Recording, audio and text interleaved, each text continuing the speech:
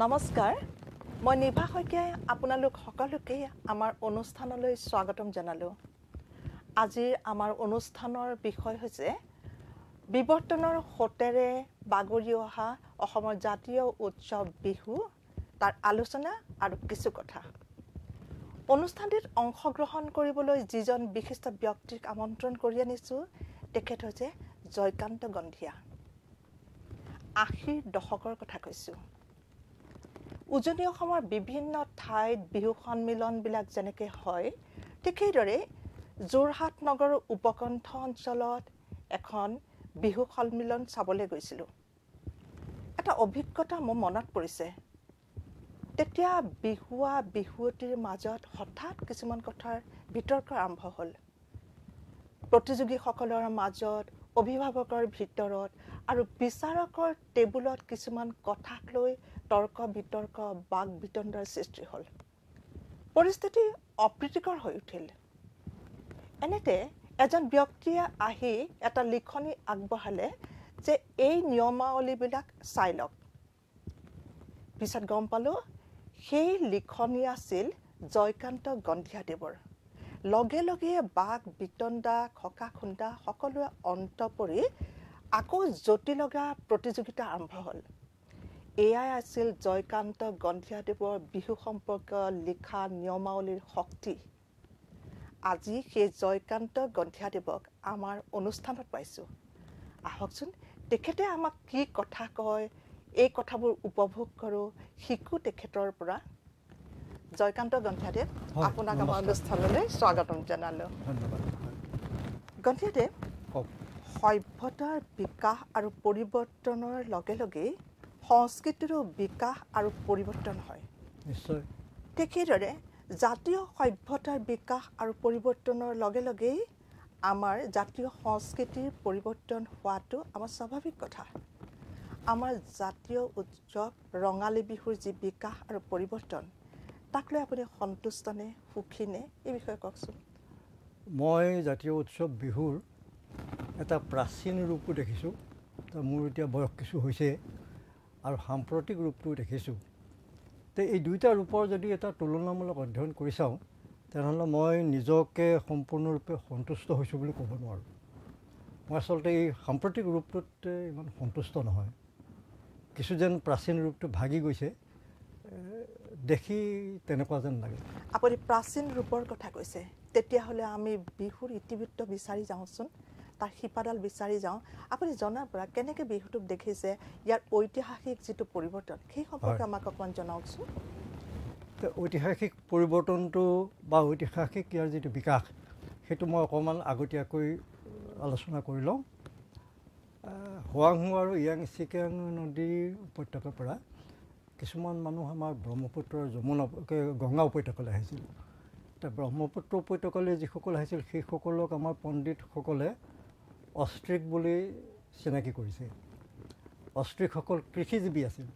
এই কৃষিজীৱীৰ লোকসকলে খেতিত নমাৰ আগতে তেওঁলোকে এটা উৎসৱ পালন কৰিছিল আৰু খেতি শেষ কৰি তাৰ উৎপাদন চপোৱাৰ পিছত এটা উৎসৱ পালন কৰিছিল। আৰম্ভণিতে আৰু শেষত শেষত। কৃষিজীৱী মানুহৰ আৰম্ভণিতে আৰু কৃষি কাৰ্যৰ সামৰণি।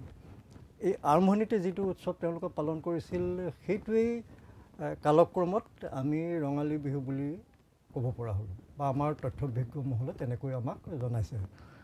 আৰু খেতি চপোৱাৰ পিছৰ যিটো উৎসৱ সেইটো আমাৰ ভোগালী বিহু।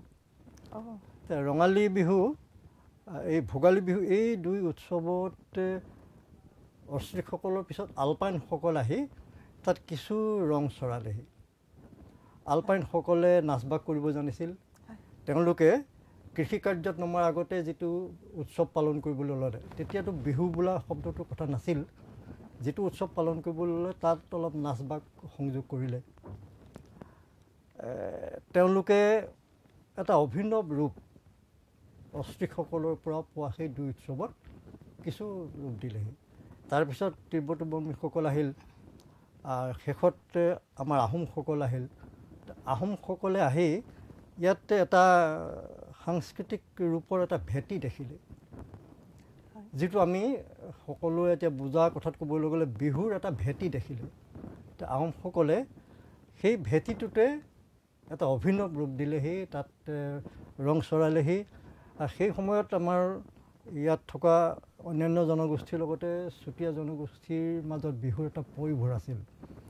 তাকে দেখি শুনি তেওঁলোকে সেই উৎসৱটোত নিজৰখিনি যি আছিল মিলাই এটা সুন্দৰ ৰূপ দিলে যাৰ ক্ৰমবিকাশৰ পৰিণতিত আমি এতিয়া জাতীয় উৎসৱ বিহু পালোহি।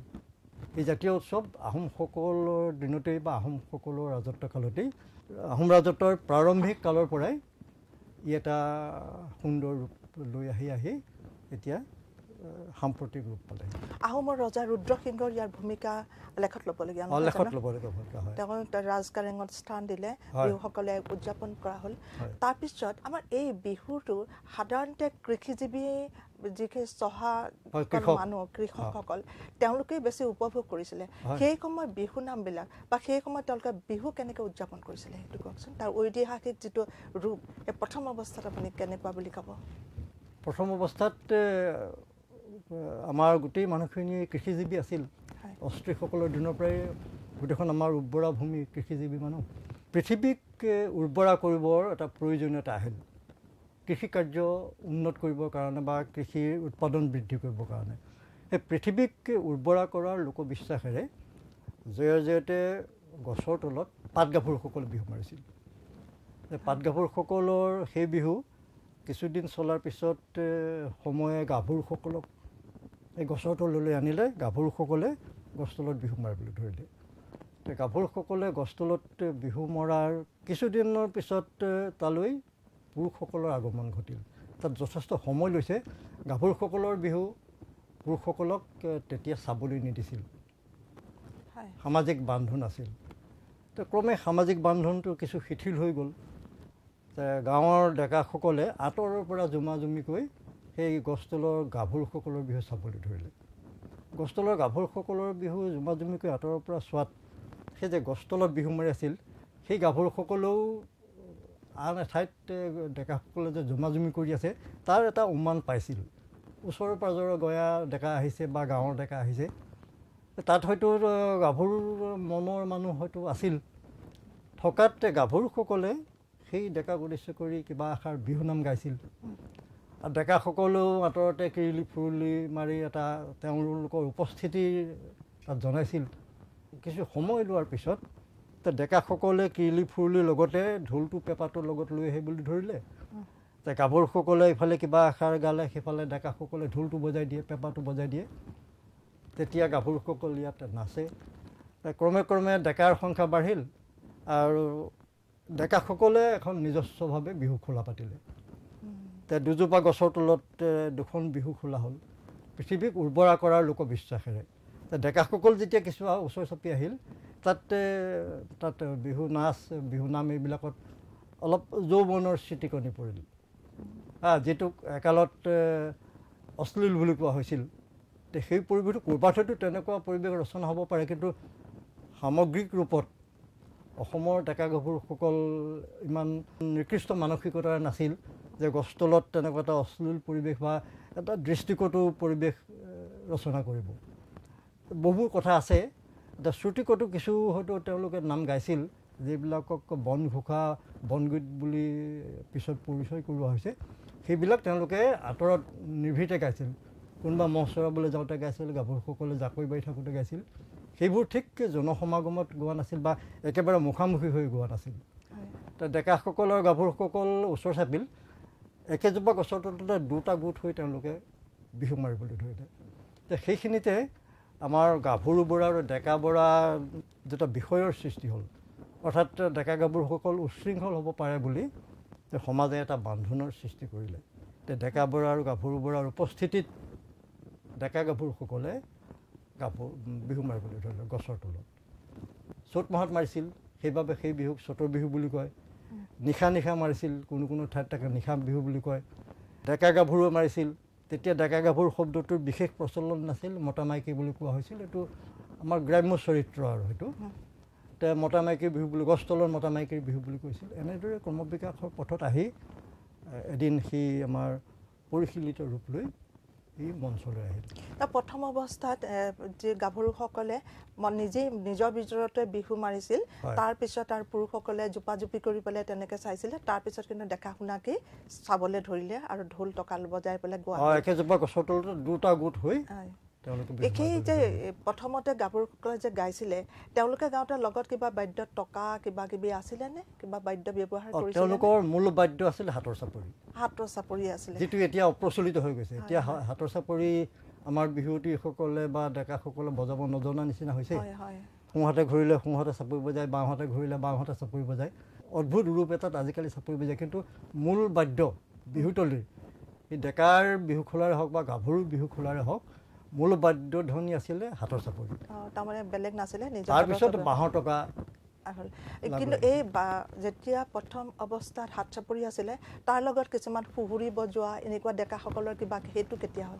সেইখিনি ক্ৰমবিকাশৰ পথত পিছত লগ লাগিছে। পিছত লগ লাগিছে। সেই যে বাহিৰত ডেকাসকলে বা আঁতৰত ডেকাসকলে যে হয়। জোপা জোপিকৈ বিহু চাই আছিল তাৰপিছত সেই কিৰিলি ফুৰুলি হয়তো কিছু তেওঁলোকৰ উপস্থিতিৰ এটা জনাইছিল। জনাইছিল ঠিক একেবাৰে কাষত সেই যি ধৰণৰ কেৰেলি ফুৰলিৰ কথা এতিয়াৰ প্ৰজন্মই বুজি পায় সেই ধৰণৰ কেৰেলি ফুৰলি পোনেই গছজোপাৰ তললৈ যোৱা নাছিল। সেই ক্ৰমে ক্ৰমেহে গৈছিল আৰু এটা সুন্দৰ ৰূপতহে গৈছিল এটা কলাসন্মত ৰূপতহে গৈছিল আচলতে। যদি কিবা আছিল বিসংগতিপূৰ্ণ সেইবোৰ আছিলে সেই যে গছ তলকে মহ চৰাওঁতে যে ডেকা বিহুৱাই বা ডেকা ল'ৰাই যে বন ঘোষাবিলাক গায় বনগীতবিলাক গায়। বিহু নামৰ সেইটো এটা ভাগ। সেই তাতহে সেইবিলাক চলিছিল। জাকৈ বাওঁতে যে চাৰি পাঁচগৰাকী গাভৰুৱে সমবয়সৰ গাভৰুৱে জাকৈ বাইছিল তেতিয়া হয়তো কিবা তেনেকুৱা দুই এষাৰ হৈছিল বা দুই এটা কিৰিলি ফুৰিলি হৈছিল। কিন্তু গছজোপাৰ তলত এই যে ডেকা বুঢ়া গাভৰু বুঢ়া দুগৰাকী বয়সস্থ মানুহ গাভৰু বুঢ়া অলপ বয়স পোৱা মানুহ আৰু ডেকা বুঢ়াও বয়স পোৱা মানুহ সেই বয়সস্থ লোকৰ উপস্থিতিত স্বাভাৱিকতে অসমৰ ডেকা গাভৰুসকল ঠিক ইমান নিম্ন মানসিকতাৰ নাছিল যে বয়সস্থ লোকৰ উপস্থিতিত তেওঁলোকে শুনিব নোৱাৰা তেওঁলোকে চাব নোৱাৰা কিবা এটা কিবা। এটা এটা সংস্কাৰ লৈ থাকেতো আৰু হয়। তাৰোপৰি এটা ৰক্ষণশীল পৰিয়ালবিলাক তেতিয়া তেনেকুৱাই আছিলে। গতিকে কোনো ধৰণৰ অশ্লীলতা ইয়াত থাকিব নোৱাৰে বুলি ভাবি ল'ব পাৰোঁ আমি হয় হয় আৰু এটা কথা কওঁ আপুনি যে ক'লে গছ তলত বিহু মাৰিছিল সেই গছজোপা কিবা নিৰ্দিষ্ট গছ আছিলে নেকি কি গছ আছিলে? সাধাৰণতে গাঁৱৰ কাষৰ ডাঙৰ গছ বৰগছ আহত গছ এই দুবিধেই আমাৰ গাঁৱৰ কাষত হোৱা ডাঙৰ গছ। হয়। সেইকাৰণে সেই বৰৰে তলতে মোকে নোজোকাবি ওলাব মইনা মাত বুলি কয়। আহোম বৰৰ তলে যাওঁ বৰৰ তলে বৰৰে ঢপলা পাত বৰৰে তলতে মোকে নোজোকাবি ওলাব মইনা মাত। বিহু নামত সেইষাৰ আমি গম পাওঁ যে বৰগছৰ তলত তেওঁলোকে বিহু মাৰিছিল। তে আহোঁতে সলালে পাত আমাৰ আইদেউ বৰন্তী সলালে মুগা ৰিহা লগালে গাত। তাৰমানে আহঁত গছৰ তলতো ডাঙৰ আহঁত গছৰ তলতো ডেকা গাভৰুসকলে বিহু মাৰিছিল।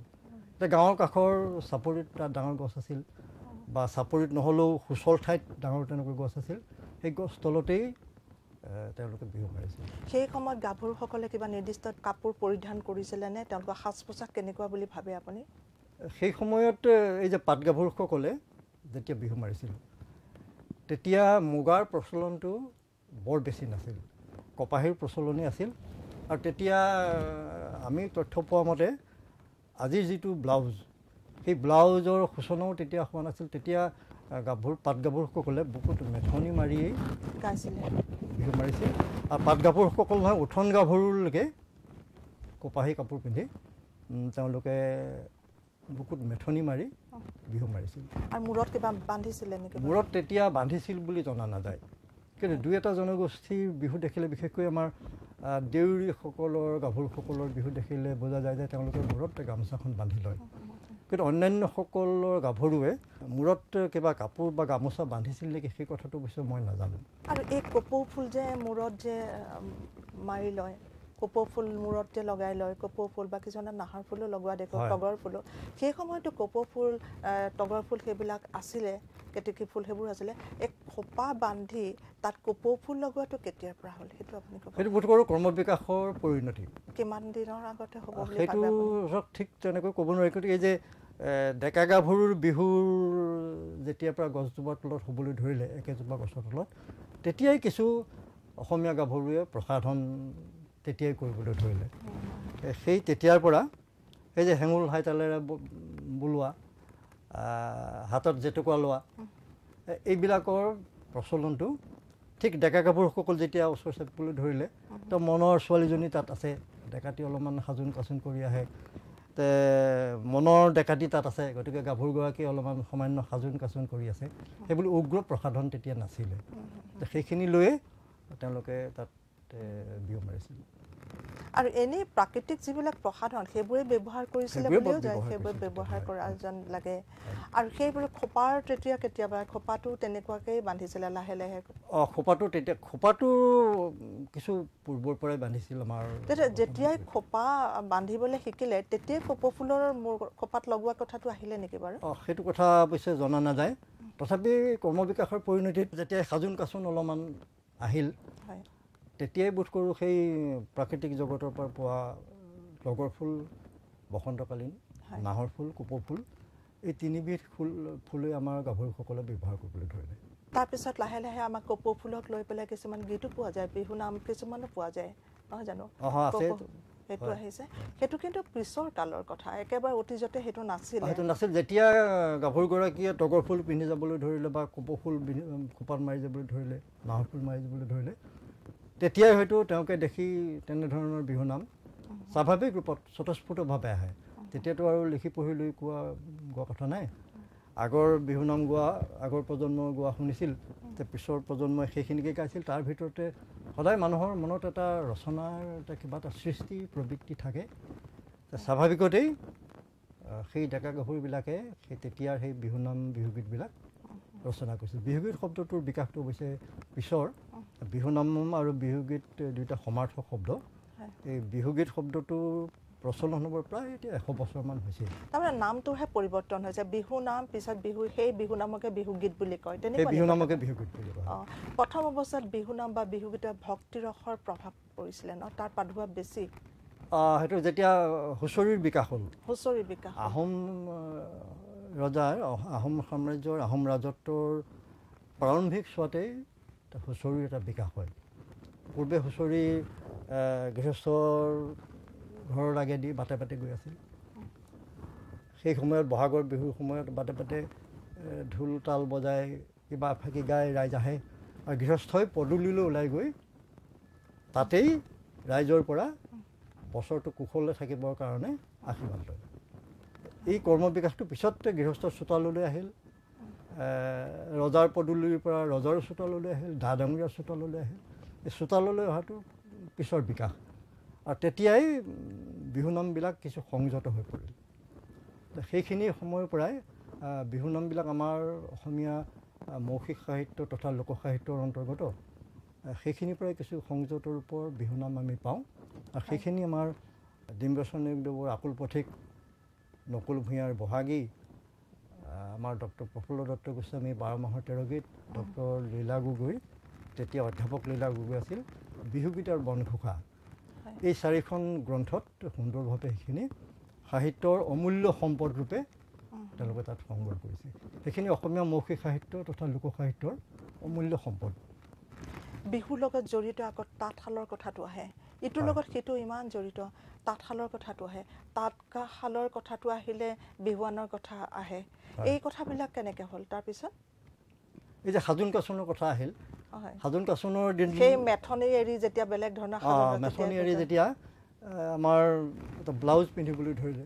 ব্লাউজৰ ওপৰত মেথনি মাৰিবলৈ ধৰিলে। তাৰপিছৰ পৰা হয়তো আহ, ক্ৰমে ক্ৰমে গামোচাৰ ব্যৱহাৰ আমাৰ দৈনন্দিন জীৱনত হ'বলৈ ধৰিলে। দৈনন্দিন জীৱনত যেতিয়া গামোচাখনৰ প্ৰয়োজন হয় হালোৱা ডেকাটিয়ে কৃষকে যেতিয়া কৃষি কাৰ্য কৰিবলৈ পথাৰলৈ যায়। তেতিয়া কিছুমান দৈহিক কাৰণতে। গামোচাখন কমাৰত কম বান্ধি ল'বলগীয়া হয়। তে কমৰত যাতে বিষ উৎপন্ন নহয় বা পিছত যাতে কমৰত বিষ নহয় কঁকালত বিষ নহয় কমৰত কঁকালত গামোচাখন বান্ধি ল'বলগীয়া হয়। ইমান সুন্দৰ কথা ক'লে আপুনি। সেই গামোচাখনেই গৈ এদিন। মূৰলৈ গ'ল এতিয়া আপোনাসকলে যিটো বিহুৱা ডেকাৰ মূৰত পাক দেখিছে এই পাকটো পিছৰ এইটো পিছৰ সংযোজন এতিয়া যে ফুল ওলমি থকাকৈ যিটো পাক মাৰোঁ এইটো আৰু প্ৰথমতে কঁকালত মৰা আছিলে মৰা আছিল। বিহুৱা ডেকা যেতিয়া পথাৰৰ সেই গামোচাখন লৈ বিহুতলিৰ ফালে গ'ল গছজোপাৰ ফালে গ'ল মূৰত মেৰিয়াই ল'লে তো মূৰত মেৰিয়াই লোৱাৰো স্বাস্থ্যসন্মত কথা আছে। আছে স্বাস্থ্যসন্মত কথা। এইটো অকল আমাৰ ইয়াতে নহয় সৰ্বভাৰতৰ লোকনাচত দেখিব মূৰত তেওঁলোকে হয় কাপোৰ এখন মেৰিয়াই লৈছে কিবা এখন মেৰিয়াই লৈছে বাগৰি মাৰিছে। কাৰণটো কি বাৰু? এইটো প্ৰাকৃতিক কাৰণেই হয়। মূৰত মাৰ মূৰত মৰাটো। মূৰত মাৰিলে প্ৰথমতে হালোৱা তলিত মূৰত মাৰিলে চেৰেপাই খাব নোৱাৰে বা ৰ'দে বৰ কৰি নাপায় বৰষুণ দিলে হয়তো তাত যিটো পোনেই পানীৰ চেঁচা ভাৱটো মূৰলৈ নাহে। এনেধৰণৰ কথা আছে আৰু মূৰত মূৰটো বান্ধি থ'লে অধিক সময় কাম কৰাৰ মানুহৰ সুচল হয়। মূৰ কামোৰণি ইত্যাদি ইত্যাদি সেইখিনিৰ পৰা বহু সময়ত ৰেহাই পোৱা যায়। এই যে আজি- আজিও আমি মূৰৰ মূৰ কামুৰিলে পোনেই কাপোৰ এখনেৰে বা গামোচাখনেৰে মূৰটো বান্ধি থ'বলৈ যত্ন কৰোঁ। এইটো এটা স্বাস্থ্যসন্মত কথা। কিন্তু কঁকালৰ কথাটো বৰ এইটো জানিব লগা কথা। আজিকালি কিছুমান কাম কৰোঁতে কয় যে বেল্ট লগাই ল'ব লাগে। ডাক্তৰে কয় লৰচৰ কৰিব নোৱাৰে। তেতিয়াই সেই গামোচাৰ পৰাই আহিছে এইটো কথা হয়? সেই স্বাস্থ্যসন্মত কথা। অৱধাৰিতভাৱেই আমাৰ সেইটো চলি আহি আছে। হয় তাৰপিছত বিহুৰ লগত জড়িত আৰু বহুত কথা লাহে লাহে সংযোজন হ'ল বুলি মই ভাবোঁ। ধৰি লওক জেতুকা লগোৱা তাৰপিছত বিহুৱানখনৰ কথা আহিলে তাৰপিছত এনে বিভিন্ন ধৰণৰ কথাবোৰ আহিলে। এইবোৰ এটা এটাকৈ সংযোজন হৈ হৈ আহি আছে। এইবিলাক কেনেকৈ সংযোজন হ'ল তাৰ কথা ওপৰত কিবা? বিহুৱানখন এই যে মূৰত মেৰিয়াই লয়। আগতে ডেকাসকলে বিহু মাৰিবলৈ যাওঁতে মূৰতে মেৰিয়াই লৈছিল গামোচাখন। ফুলাম গামোচাও আছিল আৰু ফুল নথকা গামোচাও আছিল। ফুলাম গামোচা যে বাধ্যতামূলক বিহুৱাই মাৰিবই লাগিব তেনেকুৱা কথা নাছিল। এটা ফুলৰ এটা আগত ফুল থকা গামোচাহে আছিল। যে দুটা আগত ফুল থকা গামোচাখন এতিয়া একেবাৰে সাম্প্ৰতিক ৰূপ। গামোচাত সদায় এটা আগত ফুল থাকে। সৰু ফুলৰ গামোচা আৰু বৰ ফুলৰ গামোচা দুবিধ গামোচা আমাৰ প্ৰচলন আছিল। কিন্তু মাজতে আপোনাক সোধোঁ দেই আপুনি ক'লে এই এই এই বিকাশটো যে আপুনি আগতে এফালে ফুল থকা আছিলে এতিয়া আপুনি যিখন গামোচা লৈ আছে। এইটো নিশ্চয় দুইফালে ইয়াত ইয়াত দুইফালে ফুল নাই। দুইফালে ফুল নাই দুইফালে অঁ। ফুল নাই। কিন্তু এইখন মোৰ পৰিবাৰ অমীয়া গন্ধিয়ে নিজে নিজ হাতে বোৱা গামোচা অঁ। এইখন এটা আগত ফুল আছে। এইটো এইটো আগত ফুল নাই। কিন্তু মই আপোনাক কওঁ তেতিয়াহ'লে আপোনাৰ আগত অকল ফুলটোতে নহয় আগত যিকেইটা লাইন আছে সেইকেইটা আপোনাক সৌন্দৰ্য বৰ্ধন কৰিছে? এইখিনি এইখিনি পিছৰ কৰ্মবিকাশৰ পৰিণতি। আগতে এইখিনি নাছিল। ফুলটো আছিলে। এইটো তেতিয়াৰ দিনৰে বৰ ফুলৰ গামোচা। এতিয়া এইটো এইটো ফুল বৰ ফুল বুলি নক'ব। এতিয়া বৰ ডাঙৰ ফুলটোকহে নতুন প্ৰজন্মই বৰ ফুল বুলি ক'ব। এইটো এইখনে হ'ল তেতিয়াৰ বৰ ফুলৰ গামোচা। বৰ ফুলৰ জোখটো এইটোৱে। কিন্তু আপোনাৰ গামোচাখন বাৰু বিশেষ ধৰণৰ ধুনীয়া বুলিয়ে ক'লোঁ মই। কিন্তু ইয়াত যিখন গামোচা লয় এনেকৈ আপুনি যিটো ধৰণে গামোচাখন লৈছে। আপোনাৰ লোৱাৰ ধৰণটোৰ কথা কৈছোঁ ইয়াত এফালে ফুল থাকি এফালে নাথাকিলে কিন্তু এনেই বেয়া দেখি নেদেখিলেহেঁতেন জানো? আজিকালি যিটো হৈছে ভালেই হৈছে নেকি তেতিয়া নাই আজিকালি এফালে ফুল আৰু এফালে আঁচু এনেকৈ। আছো এই ৰূপটো যদি এইটো পৰম্পৰাগত ৰূপ পুৰণি ৰূপ। এই ৰূপটো থাকিলে বেলেগ কথা।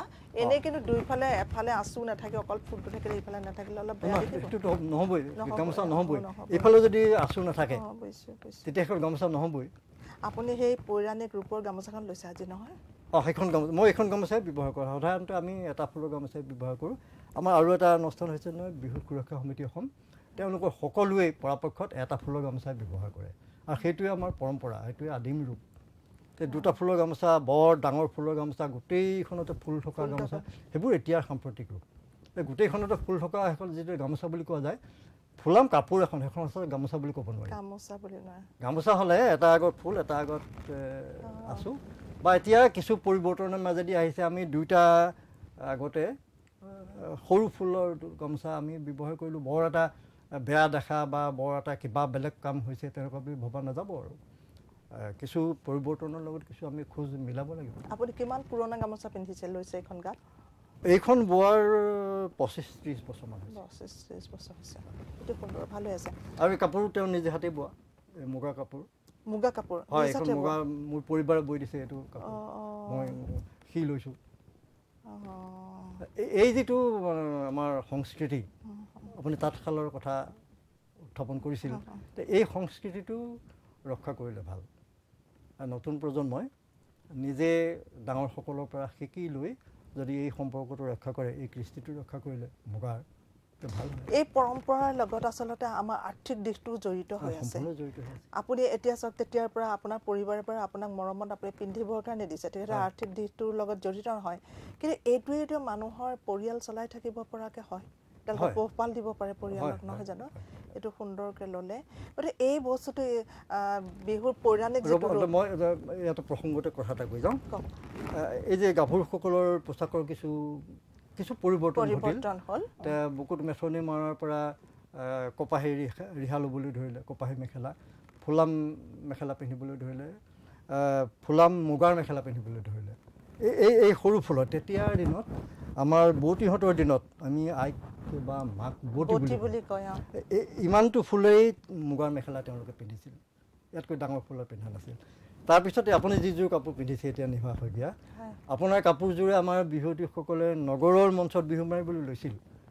আমি টানি ধৰিলোঁ যে এইযোৰ কাপোৰ আমাৰ তেতিয়াৰ বিহুৱতীয়ে পিন্ধা নাছিল। মুগাৰ সৰু ফুলৰ মুগাৰ মেখেলাখন আৰু মুগাৰ ৰিহাখন। ৰঙা ব্লাউজ পিন্ধিছিল। ক'লা ব্লাউজো পিন্ধিছিল আৰু মুগাৰ ব্লাউজ পিন্ধাটো পিছত। অঁ আৰম্ভণিতে ক'লা ব্লাউজেই পিন্ধিছিল।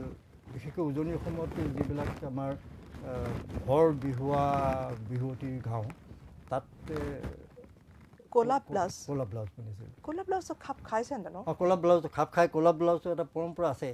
আহোমসকল যেতিয়া আহি আমাৰ উজনি খণ্ড পায়হি তেতিয়া সেই বুৰঞ্জীত পোৱা কথা চুতীয়াসকলে বোলে কৈছিল মানুহবোৰ লণ্ডা মন্দা গাটো কলীয়া কাপোৰ। সেই যে কলীয়া কাপোৰৰ এটা পৰম্পৰা আছে। এতিয়াও চিংফুসকলে কলীয়া কাপোৰ পিন্ধে আৰু আমাৰ মৰাণ জনগোষ্ঠীৰ গাভৰুসকলে সদায় কলীয়া ৰিহাখন লৈহে বিহু মাৰে। তাৰ এটা কৰ্ম বিকাশ আছে ক'লা ব্লাউজটোৰ লগত মুগাৰ ৰিহা আৰু মুগাৰ মেখেলা। এটা সৌন্দৰ্য ঠিক ম্লান নপৰে। সৌন্দৰ্য বাঢ়ে। তে মুগাৰ ব্লাউজটো এতিয়া আমাৰ একেবাৰে সৰু গাঁঠিলৈকে পিন্ধে। এইটো আচলতে আগৰ অভিজাত সম্প্ৰদায়ৰ ঘৰৰ গাভৰুৱে পিন্ধিছিল। এতিয়া মুগাৰ বা ৰঙা বা ক'লা ব্লাউজেই হওক যে কিলাকুটি ঢাকি ঠিক এইখিনিলৈকেহে পিন্ধিছিল। মোৰ বৌতিৰ যিটো ব্লাউজ আই তাৰমানে মাৰ এইখিনিলৈকে হাত থকা। তাত এটা ৰঙা পতি আছিল। আৰু এটা ব্লাউজ দেখিছোঁ কৰতমুখীয়া এটা তেওঁলোকে গাঁঠি লৈছিল। এতিয়া ৰঙা পতি এটা আছিল ইয়াত সৰু পতি এটা ব্লাউজটো আমাৰ আইতাহঁতেও পিন্ধিছিলে। সৰু। ইমানটো আপুনি যিটো হাতৰ দেখুওৱা জোখ যে ক'লে। এইটো জোখত পিন্ধা আইতাহঁতৰ ব্লাউজ আমি দেখিছিলোঁ। এতিয়া মই বিহুৱতীসকলক কিলাকুটি ঢাকি ব্লাউজ পিন্ধা কথাটোৱে কওঁ। আপুনি প্ৰসংগক্ৰমে সেইটো মই প্ৰসংগক্ৰমে সেইটো মানে সকলো ঠাইতে মই তেওঁলোকক অনুৰোধ কৰোঁ লিখাও হৈছে। কিলাকুটি সেইটোৱে শুদ্ধ। ৰঙা ব্লাউজ পিন্ধিব লাগিব আচ্ছা এতিয়া মেথনিৰ পৰা যেতিয়া আমাৰ কাপোৰ ববলৈ কাপোৰ পিন্ধিবলৈ শিকিলে তাৰপিছত কেনেকুৱা হ'ল? সেই ক্ৰম বিকাশটোৰ কথা কওকচোন। ক্ৰমবিকাশত এ, আমাৰ তাঁতৰ শালৰ খিটখিটনি অলপ বাঢ়িলে। হয়। সকলোৱেই তেতিয়া এৰী পালন কৰিবলৈ ধৰিলে মুগা পালন কৰিবলৈ ধৰিলে এৰী সূতা মুগা সূতা এইবোৰ উৎপাদন কৰিবলৈ ধৰিলে আৰু এৰী সূতা উৎপাদন কৰি এৰীৰ কাপোৰ ল'বলৈ ধৰিলে মুগা উৎপাদন কৰি মুগাৰ চোলা পিন্ধিবলৈ ধৰিলে। আমাৰ বিহুৱাসকলে এসময়ত এৰীৰ এঙা চোলা পিন্ধিছিল। এঙা চোলা পিন্ধিছিলে। এৰী ৰেঙা চোলা পিন্ধিছিল তাৰপিছতে কপাহী ৰেঙা চোলা পিন্ধিবলৈ ধৰিলে। এৰী ৰেঙা চোলাটোৰ প্ৰচলন খুব কম ক'ৰবাত ক'ৰবাতহে তাৰ সম্ভেদ পোৱা যায়। তো অধিক সংখ্যকেই কপাহী কপাহৰ উৎপাদনটো বেছি হ'ল তাঁতৰ শালত এ, গাভৰুৱে কাপোৰ বৈ দিবলৈ ধৰিলে। আৰু সেই বোৱা কাপোৰৰ পৰা তেওঁলোকে কপাহী এঙা চোলা পিন্ধিবলৈ ধৰিলে। আহ, তাৰপিছতে বিহুতলীলৈ যেতিয়া আহিলে তে মুগাৰ যেতিয়া প্ৰচলনটো বৃদ্ধি হ'ল তেতিয়া ডেকা বিহুসকলে আগফালে মুগা আৰু পিছফালে ক'লা কাপোৰ দি সেই যে মই ক'লা কাপোৰৰ যিটো পৰম্পৰাৰ কথা ক'লোঁ পিছফালে ক'লা কাপোৰ দি এটা বিহুৰ চোলা পিন্ধিবলৈ ধৰিলে। আজিকালি হাফ চাৰ্টটোৰ নিচিনাকৈ গলাৰ লগাত ডিঙি বন্ধন ফুলাম মুগাৰ কাপোৰৰ এটা চোলা পিন্ধি এইটো আচলতে বিহুতলী চোলা নহয়। যে ফুলাম মুগা কাপোৰৰ যিটো চোলা সেইটো বিহুতলী চোলা নহয়। হয়। আমাৰ ভাৰতীয় লোকনৃত্য বা লোকনাচৰ বা লোক হেৰিয়াৰ পৰম্পৰাত যদি চোৱা যায় কোনেও কলাৰ থকা চোলা নিপিন্ধে। লোকনাচত সদায় আমাৰ গৰম দেশ এখন। গতিকে ইয়াত সদায় এই অংশটো মুক্ত হৈ থাকে।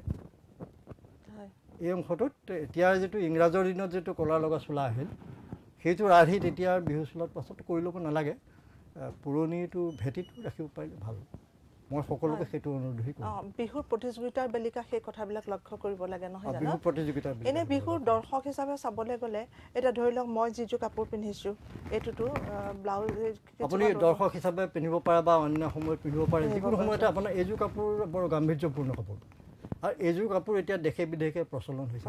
কিন্তু এইযোৰ ঠিক বিহুৱতী গাভৰুগৰাকীৰ কাপোৰ। কাৰণে শুদ্ধতা নাথাকিব। নাথাকিব আৰু এটা কথা আমাৰ বিহুটো এতিয়া আমি লৈ আনিলোঁ তাৰপৰা লাহে লাহে আহিলে গছতলৰ পৰা ক'লৈ আহিলে ৰাধা গোবিন্দ বৰুৱাই আনি পেলাই মঞ্চ পোৱালেহি। হয়। মঞ্চত স্থান দিলে। মঞ্চত স্থান দিয়াৰ পিছত আমাৰ কি হ'ল তাৰপিছত আহি পেলাই আমাৰ এতিয়া নিউজ চেনেলবোৰত তাত সোমালেহি। আহি পেলাই বিভিন্ন নিউজ চেনেলত তাৰ বিহু আৰম্ভ হৈ যায়। এতিয়া আগৰ গছ তলৰ ওচৰলৈ যাব নালাগে ক'লৈ যাব নালাগে। এতিয়া বিচনাৰ শোৱনি কোঠাত বহি বিহু ধুনীয়াকৈ চাই থাকিব পাৰি। এইটোৰ আপুনি কি ইতিবাচক আৰু নেতিবাচক ৰূপ কি ক'ব? এই যিটো আমাৰ যিটো মঞ্চৰ যিটো আগমন গছতলৰ পৰা মঞ্চলৈ আহিল গৃহস্থ চোতালৰ পৰা হুঁচৰি মঞ্চলৈ আহিল প্ৰতিযোগিতাৰ থলীলৈ আহিল আহোঁতে প্ৰথম অৱস্থাত এই তাত যেনেকৈ আছিল তেনেকেই অহা যেন আমি নিজেও হুঁচৰি গাওঁতে ৰভাতলত হুঁচৰি গাইছোঁ প্ৰতিযোগিতাত। মই নিজে তাত অংশগ্ৰহণ কৰিছোঁ নিজে নাচিছোঁ নিজে তাত ঢোল বজাইছোঁ। তেতিয়া মঞ্চ নহয় এই যে যিখন ৰভা দিয়ে সেই ৰভাৰ মাজত আমি হুঁচৰি প্ৰতিযোগিতাত অংশগ্ৰহণ কৰিছোঁ। সেইখিনিলৈকে ঠিকেই আছে। ধৰক ঊনৈছশ পঁয়ষষ্ঠি ছয়ষষ্ঠি সাতষষ্ঠি চনমানলৈকে ঠিকেই আছে। তাত- তেতিয়া গাভৰুসকলৰ বিহু প্ৰতিযোগিতাৰ থলীলৈ আহিছিল। কিন্তু ডেকা গাভৰুৰ বিহু তেতিয়াও প্ৰতিযোগিতাৰ থলীলৈ অহা নাছিল। হুঁচৰি প্ৰতিযোগিতাই তেতিয়া আগস্থান পালে। হয়। সেই সময়লৈকে গোটেইখিনি প্ৰায় সঠিকভাৱেই আছিল। অকল হুঁচৰিহে স্থান পাইছিলে হুঁচৰিহে স্থান পাইছিল আৰু ডেকা গাভৰুৰ বিহুৱে তেতিয়া স্থান পোৱা নাছিল। কি হ'ল? গাভৰুসকল হুঁচৰিত অংশগ্ৰহণ নকৰে। হুঁচৰিত গাভৰুৰ কোনো স্থান নাই গাভৰু নাচিব নালাগে। তো উজনিৰ এটা অংশত বিশেষকৈ ভোগদৈ নৈ উজনি ফালে। যোৰহাটৰ কথা কৈছে নেকি? যোৰহাটৰ পৰা ঠিক যোৰহাটকে দুটা অংশ কৰক। যোৰহাটৰ নগৰৰ মাজমজিয়াত ভোগদৈ নৈখন। আছে ভোগদৈ নৈ উজনি পাৰে শিৱসাগৰ নগৰক কেন্দ্ৰ কৰি সেই গোটেই অঞ্চলটো ডিব্ৰুগড়লৈকে বুলি। দেখনীয়া ল'ৰা দুটাক ছোৱালীৰ দৰে সজাই লয়। লৈ তেওঁলোকে হুঁচৰি গায়। এইটো এটা বেলেগ এটা নাচৰ প্ৰভাৱ উজনি অসমত সেই প্ৰভাৱটোৰ কাৰণে এইটো আমাৰ সেই সময়ত ইংৰাজৰ দিনত কিছুমান নচা দল ল'ৰাকে ছোৱালী সজাই লৈ য'তে ত'তে ঘূৰি ফুৰা দল আছিল তথ্যভিজ্ঞ মহলৰ পৰা জনামতে যে সেই তাৰ প্ৰভাৱতে আমাৰ হুঁচৰিত সেই সজোৱা নাচনী দুজনী আহিল। মই সজোৱা নাচনীৰ পূৰ্বৰ ৰূপটো দেখিছোঁ। এতিয়া ক'বলৈ সেইটো অলপ বেয়া হয় হয়তো কোনোবাই বেয়াও পাব পাৰে। তাত এজন বহুৱাও মই দেখিছোঁ। নাকত এটা প্লাষ্টিকৰ নাক লগাই লয়। তেতিয়াই? তেতিয়াই। আৰু তাত সেই হুঁচৰি গাওঁতে সেই বহুৱাজনে আহি পেলাই সেই সজোৱা ডেকা ল'ৰা দুটা অৰ্থাৎ ছোৱালী দুজনী কাষে কাষে কিছু বহুৱালি কৰি এইটো মই নিজে প্ৰত্যক্ষ কৰিছোঁ সৰুকালত এইটো বেছ মনত আছে দেখিছোঁ আৰু। সেই ৰূপটো ক্ৰমে আমাৰ নোহোৱা হ'ল। হ'লেও হুঁচৰিত ছোৱালীৰ প্ৰৱেশ কৰিলে।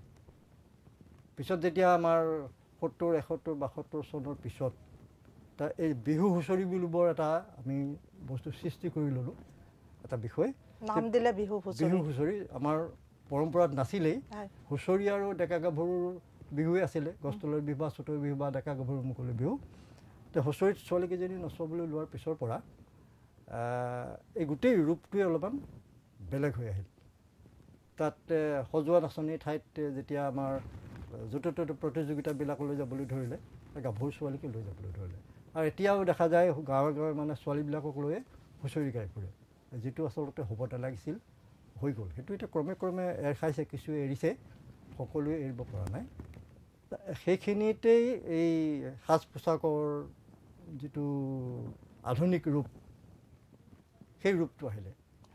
আমাৰ ছোৱালীয়ে যে ৰিহা মেখেলা পিন্ধিহে বিহু তুলিত বিহু মাৰিছিল। সেই কথাটো বহুতে পাহৰি গ'ল। সেই যে আপুনি যিযোৰ ছেট এতিয়া নিভাষকে পিন্ধিছে এই কাপোৰযোৰহে পিন্ধিবলৈ লৈছিলোঁ। তাৰপিছত অৱশ্যে আমি যেতিয়া গোটেইটো তথ্য পাতিৰে বুজাই দিলোঁ সকলোৱে বুজি পালে আৰু এতিয়া গাভৰুসকলে এনেকুৱা কাপোৰ পিন্ধি বিহু মাৰিবলৈ নাহে মুগাৰ ৰিহা মেখেলাৰে আহে। তো ডেকাসকলেও তেনেকৈ অৱশ্যে সকলোৱেই আমাৰ এই যে ফুলাম যিটো মুগাৰ চোলা সেইটো এৰিব পৰা নাই। সেইটো আমাৰ মধ্যবয়সীয়া একাংশই এৰিবলৈ নিবিচাৰে কিন্তু এৰিলে ভাল। সেইটো আমি আজিকালি এটা পৰামৰ্শ দিবলৈও অলপমান অসুবিধা। আপুনি মানে আপুনি এনেকৈ ক'ব নেকি যে স্থান বিশেষে সেইটো পিন্ধিব পাৰে? এইটো স্থান বিশেষো আচলতে পিন্ধিব নালাগে? তেওঁলোকে। বিদেশলৈ গ'লে এইটো বৰ ধুনীয়া দেখে বুলি কয়। তে ধুনীয়া দেখাটোৱে কথা নহয়। পৰম্পৰাটোহে আচল কথা। পৰম্পৰাগত কাপোৰযোৰহে আমি কিমান ধুনীয়াকৈ পিন্ধি বিদেশৰ দৰ্শকক দেখুৱাব পাৰোঁ। সেইটোহে কথা আচলতে। কাৰণ আমাৰ ভেটিটো যদি নাইকিয়া হৈ যায় পিছৰ প্ৰজন্মৰ ক'ত থিয় হ'ব? আমিয়ে যদি ভেটিটো ৰাখি থৈ নাযাওঁ সাংস্কৃতিক ক্ষেত্ৰত হওক বা সামাজিক ক্ষেত্ৰত হওক য'তে ত'তে আমি আমাৰ নিজৰ ভেটিটো ৰক্ষা কৰিব লাগিব। মানে সক্ৰিয়তাৰ প্ৰতি লক্ষ্য ৰাখিব লক্ষ্য ৰাখিব লাগিব। এতিয়া আমাৰ ভেটিটো ক্ৰমে ক্ৰমে যেন নোহোৱা হৈ যাব তেনেকুৱা যেন এটা লাগিছে যিটো কাৰণে প্ৰথমতে আপুনি সুধিছিল যে এইটো আপুনি সন্তুষ্ট নে? আমাৰ ভেটিটো কিছু নোহোৱা হৈ যাব উপক্ৰম ঘটিছে। এতিয়া বিভিন্ন কাৰকে এতিয়া বিহু এতিয়া গোটেই প্ৰতিযোগিতামুখী হৈছে। প্ৰতিযোগিতাৰ থলীলৈ যোৱাৰ লগে লগে ই এতিয়া পণ্য সামগ্ৰী হোৱা নিচিনা হৈছে। এতিয়া ব্যৱসায়ৰ আহিলা হোৱা নিচিনা হৈছে। আমি কৃষকৰ ঘৰৰ পৰা বিহু লৈ আহিলোঁ চোতালৰ পৰা মঞ্চলৈ লৈ আহিলোঁ গছতলৰ পৰা মঞ্চলৈ লৈ আহিলোঁ আনি মধ্যবিত্তৰ হাতত পৰিলে এতিয়া বিহু আহি। এতিয়া কৃষকৰ ঘৰত গাঁৱত যিটো উলাহত বিহু পাতিব লাগে এতিয়া কৃষক ডেকাসকলে কৃষকৰ ঘৰৰ ডেকাসকল সেইটো উলাহত বিহু নাপাতে এতিয়া। মধ্যবিত্তৰ ঘৰলৈ মধ্যবিত্তৰ চোতাললৈ চাই থাকে। মধ্যবিত্তৰ হাতলৈ যেতিয়া বিহু আহি আছে তে ই ৰূপ সলনি হৈ আছে। এটা কথা আমি সকলোৱে ভাবিব লাগে সাপে মুঠ সলায় কিন্তু সাপৰ মুঠ সলোৱাৰ পিছতো তাৰ ধৰ্মটোতো নষ্ট নহয়। বিষাক্ত সাপ হ'লে সি তাৰ বিষ থাকেই। হয়। আকৌ কোৱা যায় যে সংস্কৃতি বোৱতী নৈ। কিন্তু বোৱতী নৈখনে কেতিয়াবা সুঁতিটো সলাই বেলেগ ফালে যাব পাৰে। পানীখিনি কিন্তু একেখিনিয়ে। একেখিনি পানীৰ ধৰ্ম কেতিয়াও লৰচৰ নহয়। এই কথাটো এই দুয়োটা কথাই আমি সততে মনত ৰাখিব লাগে যিসকলে এতিয়া আমি বিহুক ব্যৱসায়ৰ আহিলা হিচাপে লৈছোঁ। অতি সুন্দৰ। ল'ব পাৰোঁ আমি কোনো কথা নাই। কিন্তু আমাৰ যিটো ভেটি আমি সাপে মুঠ সলোৱাৰ পিছত সাপৰ যিটো ধৰ্ম নষ্ট নহয় ঠিক তেনেকৈ গছতলৰ পৰা মঞ্চলৈ আনিলে চোতালৰ পৰা মঞ্চ- মঞ্চলৈ আনিলে এই বাটতে যাতে আমাৰ ধৰ্মটো নষ্ট নহয় আমাৰ সাংস্কৃতিক পৰম্পৰাগত ৰূপটো নষ্ট নহয় বোপা ককাই যিটো ভেটি নিৰ্মাণ কৰি গ'ল সেইটো যাতে নষ্ট নহয় এই কথাটোৰ প্ৰতি আমি ল'ৰা বুঢ়া ডেকা নতুন প্ৰজন্ম পুৰণি প্ৰজন্ম সকলোৱে মনত ৰখা ভাল। অতি সুন্দৰ। আপুনি বিহুৰ ক্ৰমবিকাশৰ লগে লগে সাজপাৰৰ ক্ৰম বিকাশৰ কথা ক'লে। আপোনাৰ এটাই অনুৰোধ যে আমাৰ যিটো ক্ৰম বিকাশৰ লগে লগে আমাৰ সক্ৰিয়তা যাতে বজাই ৰাখে আমাৰ ধৰ্ম যাতে অটুট ৰাখে। আমাৰ গুণাগুণ যাতে খৰ্ব নহয় তাৰ প্ৰতি সকলোৱে যাতে চকু ৰাখে ইয়াকে কৈ আজি আপোনালোকৰ পৰা প্ৰথম খণ্ডৰ ইমানতে সামৰণি মাৰি বিদায় লৈছোঁ। ধন্যবাদ।